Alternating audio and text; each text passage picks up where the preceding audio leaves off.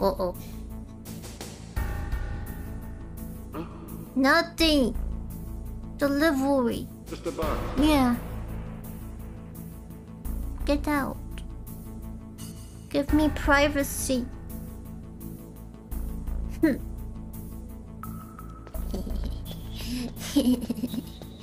You're lucky. You get to live. Not like the others. They didn't get so much of a good choice, did